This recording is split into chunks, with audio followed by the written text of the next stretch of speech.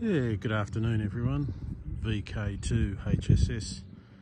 Just doing a fresh Davis Weather Instruments video for any of you who are considering buying one of these weather stations from Davis. Today is Sunday 31st of October 2021 coming to you from Junee the, just outside the township of Junee, New South Wales, Australia, for any of my international viewers. So as you can see, we've got the uh, Davis Weather Instruments weather station installed. I bought it back in February this year. So she's been up and running for a fair while now. And initial reports, it works fantastically. Haven't had any issues. It transmits by this black antenna here back to my office which is all the way back over in the house over here. No communication problems at all. Uh, it's a real mecca for spiders little little spiders weaving their web uh, all around it particularly um, where I have the uh, cable wound up and also underneath the uh, behind the solar panel.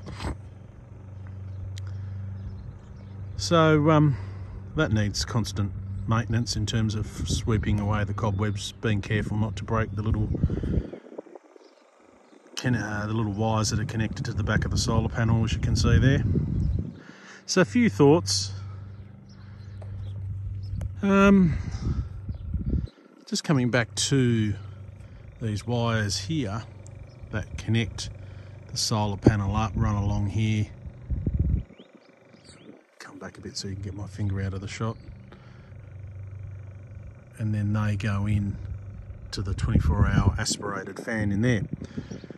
They're not shielded. There's only a single single shield on the uh, single sheath on the cable. And what I have been noticing over a fair bit of time is that the UV exposure, because it's exposed to the sunlight all day, every day, that it's slowly deteriorating the sheath on those little 12 volt wire.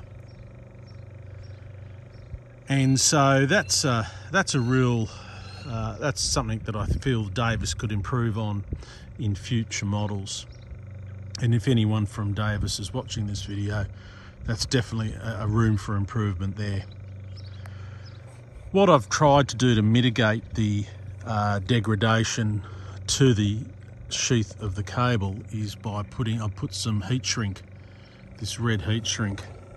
I just uh, got a very small diameter heat shrink, cut, sliced it down the middle and have cable tied that heat shrink on. Just to act as a barrier whether it's uh, from rain, but more importantly, a barrier from the UV, because as we know, UV really attacks everything. And if left there, eventually it would fall apart and uh, go, uh, would short.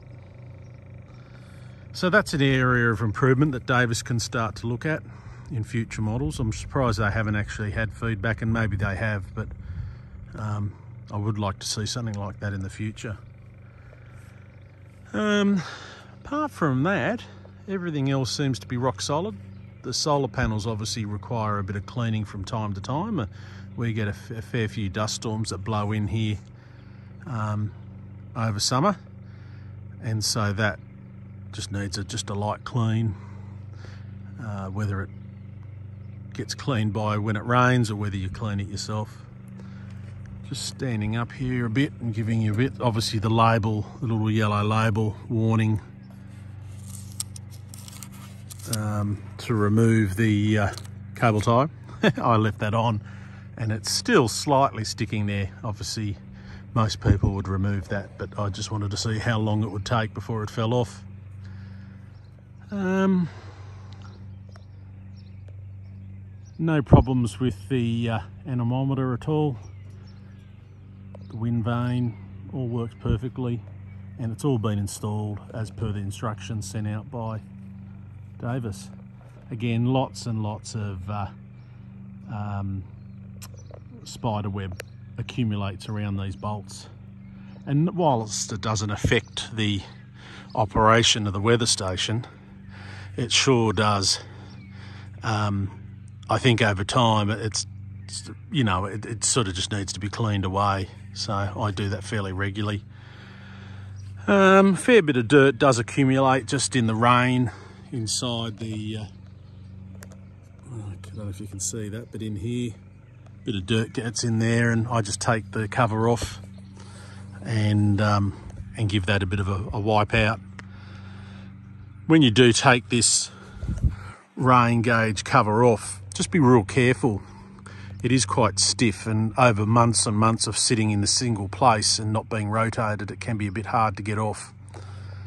Um, and once you do have it off, the little um, sensor that the water falls into, the little cup, is very, very sensitive to wind and, uh, and you can activate that cup just by a gust of wind um, whilst you have that cover off, which then gives you a, a false reading that you've received rain. Uh, I'm, as you can see, running the 24 hour aspirated version. So you've got your 24 hour fan in here, in this section, and then down here is, is where it's drawing the air through and the sensor to take the measurement of temperature.